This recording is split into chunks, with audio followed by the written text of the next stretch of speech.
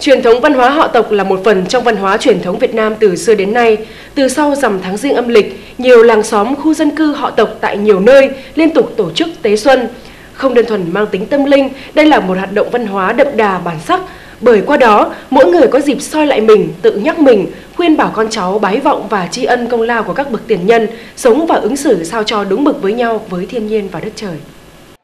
Không có dịp về nhà thờ họ tổ, những người trong gia đình họ Lâm Quảng Ngãi đã tổ chức lễ vọng tế xuân của dòng họ mình tại không gian hội trường này. Đây là lễ vọng tế xuân của những con cháu tha hương lập nghiệp, tưởng nhớ công đức cao dày của tổ tiên đối với dòng họ và đất nước, cùng góp phần xây dựng nền văn hóa truyền thống đậm đà bản sắc dân tộc. Không gian và thời gian hữu hạn trong điều kiện còn nhiều khó khăn, những người tổ chức muốn đem đến cho con cháu mình một sinh hoạt truyền thống thiêng liêng và ý nghĩa